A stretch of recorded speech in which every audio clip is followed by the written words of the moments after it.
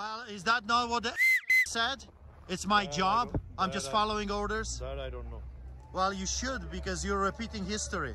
I have no idea. Well, then maybe you should educate yourself. No, uh, uh, you're not allowed to touch somebody's vehicle. You know that? Maybe you should mind your No, own no, no. business. Listen, you're not allowed to touch somebody else's vehicle, All right. right? Yep. Hello, everyone, and welcome back. Today, we're going to take another look at Artur as he harasses a parking enforcement officer, accusing him of selling his soul for, and I quote, a bowl of soup. So let's get into this. So, sir, why are you taking pictures of the license plate? For payment, sir. This is a payment block. It's You need payment. Uh, who who called you? It's illegal for them to stand around and wait for the time to So run out. so In what world is it illegal for a parking enforcement officer to ticket somebody who has passed their allotted time? Park near a hospital almost anywhere and see how fast that ticket hits your windshield. I'll tell you a little story. I parked right down the road from a hospital and I gave, and I will literally quote the description, only 2.7 meters of the required three meters between the bumper and an unmarked crosswalk, which is apparently anywhere where the asphalt and the the sidewalk touch without any other indications at all. But waltzing between the bumper and that imaginary crosswalk was apparently not enough space, and I still managed to get a ticket. Yes, I spat on the ticket, but I paid it, damn it. who called you to be here, sir? And are you happy with doing what you're doing? I mean, the style. It's my job, sir. Well, is that not what the said? It's my That job. I'm just I- following orders. That I don't know. Well, you should because you're repeating history.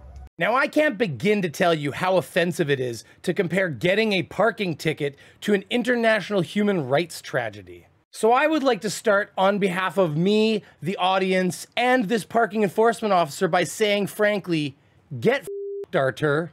I have no idea. Well, then maybe you should educate yourself.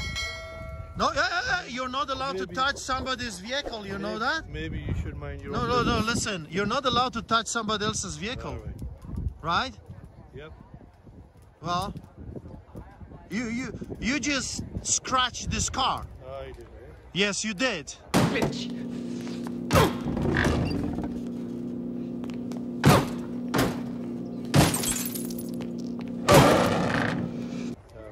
On camera. So you're lawbreaker, but you're willing to do it in the name of law.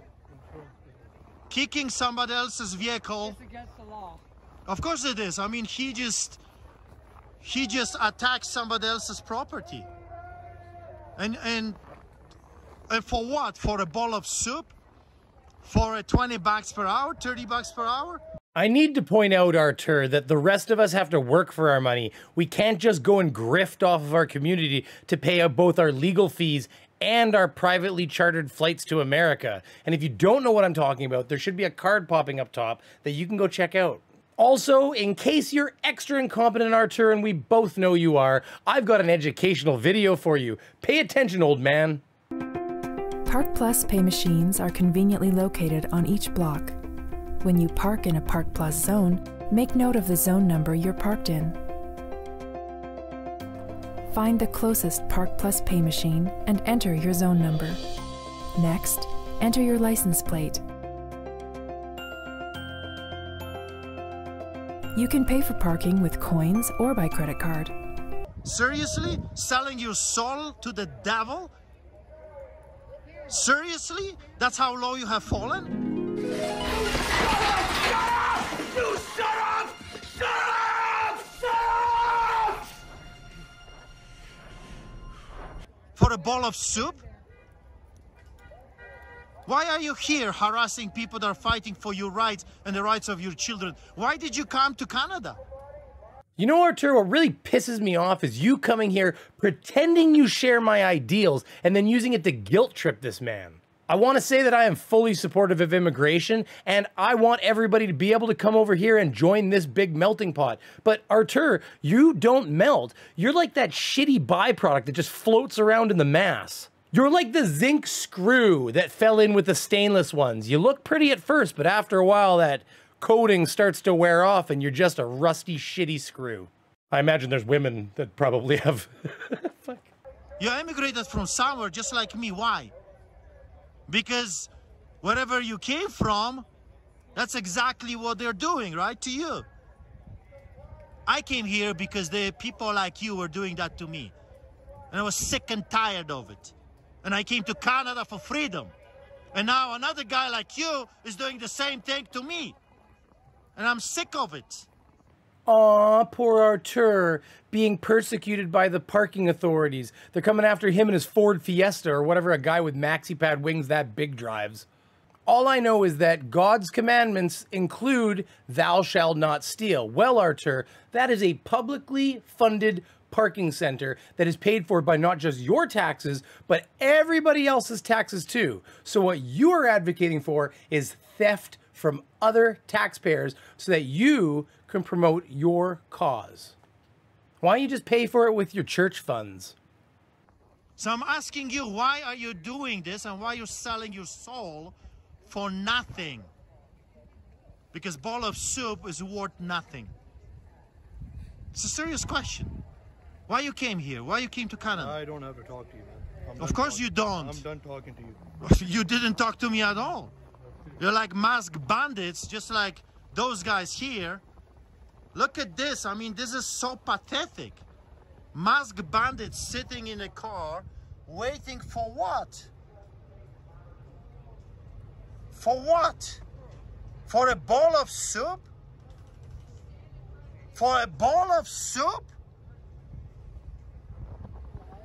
You know what I mean? Like, for 30 bucks per hour? money comes.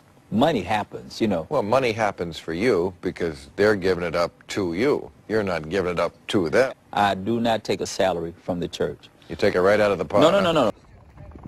Just unbelievable.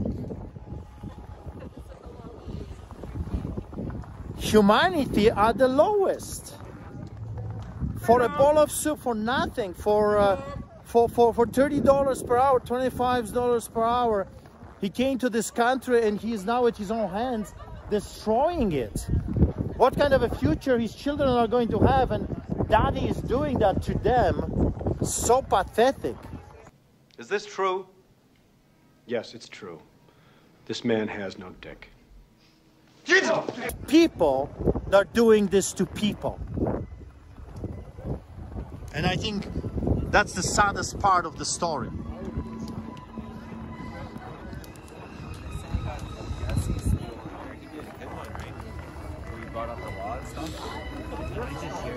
There's Archer there. Here is uh, is one of the heroes, Jesse.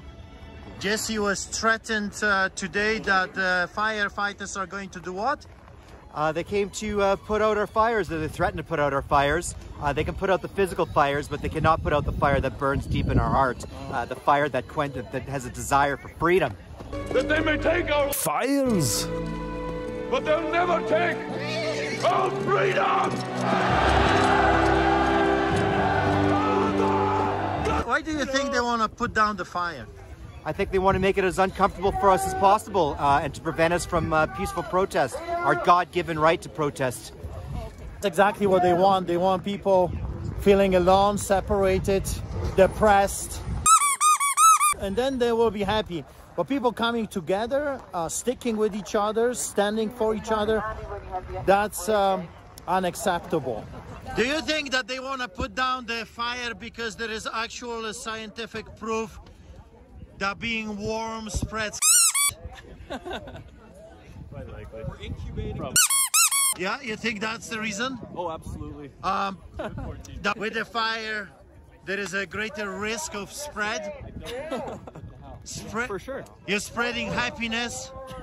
That's unacceptable. You're spreading warmth. Joy. Joy. Oh, you said it.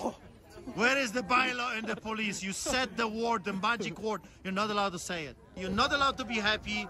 You are allowed to be depressed, dependent on the government, owning nothing, and then being happy.